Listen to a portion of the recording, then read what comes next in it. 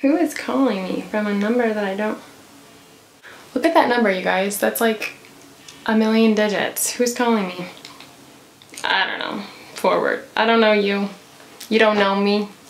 We'll just forward it. Hey everyone, hope you're all doing good. So today I am coming to you from my bedroom and I'm praying that the lighting will work out. If you're not already subscribed to me, don't forget to subscribe down below. I'd love to get to know you better as one of my subscribers over here in my family. Today's video is a collab with my friend Jeannie from A Little About a Lot. I love Jeannie so much, you guys. Um, she was one of the first moms that really encouraged me and inspired me on YouTube. Like, her and I are a lot alike in the sense that her husband is a pastor, my husband's going to seminary right now. We're both believers and she is an amazing like makeup artist. She loves pouring into her children and into her husband and she is someone that really just, I feel like she pours so much into me and um, she just encourages me and inspires me and I just, I love her. And so I thought, you know, this would be a really great opportunity for all of you guys to get to know another mom that I feel like really encourages me and that can encourage you as well. So today's collab, we are going to be sharing some encouragement. Jeannie and I are gonna be talking about five affirmations. Five affirmations for moms, affirmations that we tell ourselves on the daily in hopes that it can encourage encourage you and can inspire you as a mom. If there are any affirmations that you tell yourselves or that you want other moms to know, please comment those down below and share them with us. The first affirmation that I have is that I am the best mom for my kids. I feel like this is so huge because it's so easy to compare ourselves with other moms. I know me, I can compare myself to other friends that I have that maybe have different parenting styles than me or different lifestyle choices than I and it can be really easy to look at them and look at their kids and think, they would probably do a better job handling this situation with my kids or they would probably do a better job with my kids than I can. And it can just be really, it can be a very aggressive downward spiral. I may not be the best mom. I am not the best mom.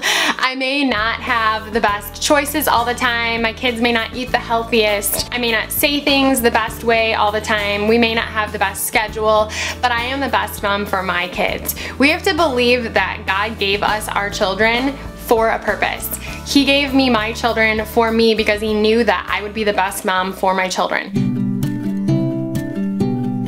Okay, now this one I tell myself all the time and it is I am a vessel of joy. I want to say I was in like second or third grade and we had a Sunday school class and they said you always bring something with you. You are either a peacemaker or a peace breaker and that has always been such a good visual in my mind.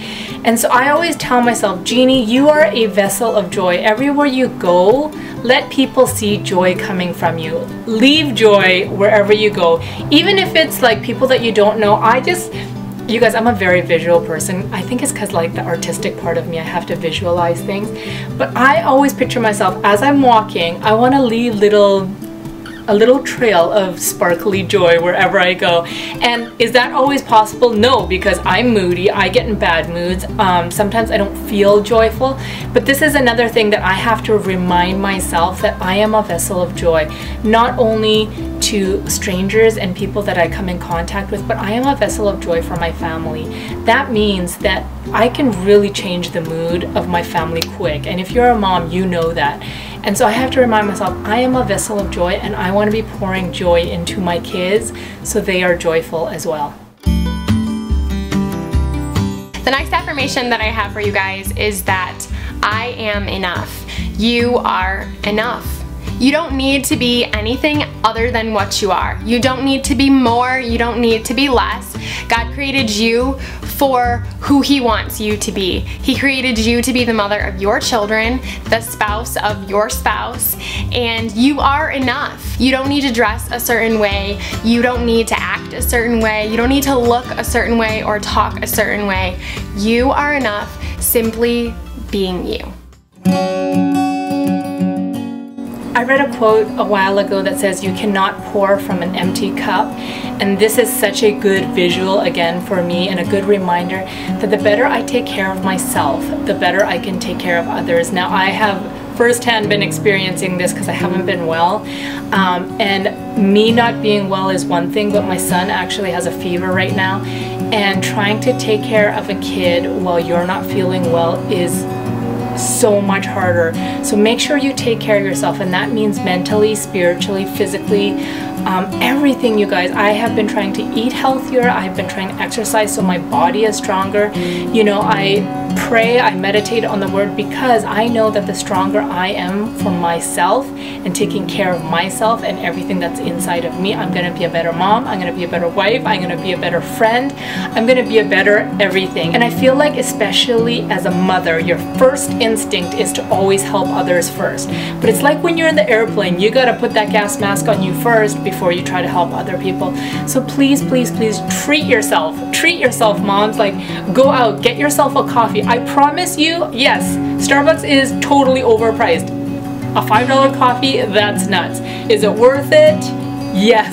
If it makes you have a little bit better of a day, if it's gonna enhance your mood, I promise you you're gonna be a better mom all day, you guys. I just have come to grips with, there's just some things that I've accepted it's a little bit of a sacrifice for the overall good. So just moms, please take care of yourself. Please get good sleep. Make sure you make it a priority to get good sleep. And that's something that I am working on. Make it a priority to have a little bit of time for yourself, whether that means going for a run, exercising, reading a book, drinking a full cup of tea, or whatever it is. Make time for yourself because I promise you the better you take care of yourself, the better you can take care of other people. This last one that I have for you guys is that I can be a better person. I can make changes, I can change. I feel like this is so important because sometimes especially I feel like when I'm going through like a rough season, maybe I'm going through a season of depression or I just feel like I've gotten in a rut and I just can't rise above. Sometimes we can believe the lies that we tell ourselves as far as like, oh, I'm never gonna be able to do this, I'm never gonna be able to stop doing this. And the fact is we can do anything we set our mind to. We can be better people. We can rise above. We can be better moms. We can make better choices and we can change. Alright guys, so those are the affirmations for my video. Don't forget to go on over to Jeannie's video. It'll be linked down below and you guys can check out the rest of the affirmations that we have for you guys over in her video. And if you head on over to Jeannie's channel, be sure to subscribe to her. Check out the rest of the content that she has because I know you guys are going to love her. So I hope you have a good day. I hope you're all blessed and I hope that these affirmations spoke to you and gave you some encouragement today. I'll see you guys later. Bye. And it's funny because you guys remember growing up and your parents saying to you like, it's not my job to entertain you. Remember my mom used to say that all the time. and now I get it.